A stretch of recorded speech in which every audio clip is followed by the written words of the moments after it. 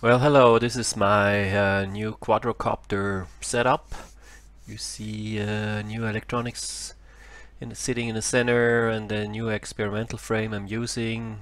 I reduced the electronic size so I can go for a smaller frame. You see here the electronic, I did split it up into three boards. I still use the BLDC motor controller and um, for these brushless DC motors uh, it's based on a STM32F3 and you see the three FETs, these BTN8962.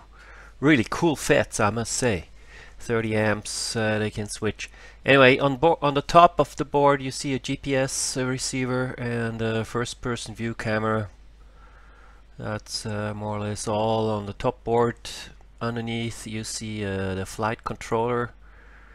Flight controller based on a STM32F4 workhorse and the MPU 9250 uh, motion sensor.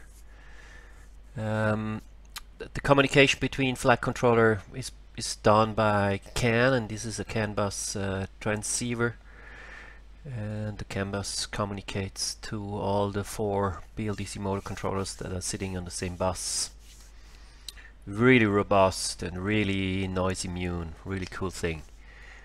Well uh, underneath is a power supply that's not much uh, to talk about.